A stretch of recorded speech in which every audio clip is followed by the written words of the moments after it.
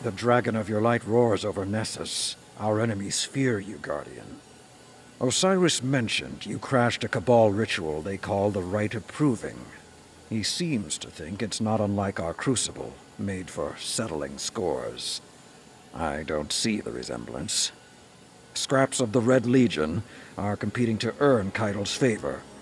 Just like her, their hands are tied by tradition. They're forced to meet every challenger or forfeit their position. We can exploit that. I want you to run down every Cabal commander you can find. If they're foolhardy enough to accept a fistfight with you, Caiatl's War Council won't fill a single seat. To that end, Crow has spotted another of the Empress's hopefuls on Europa.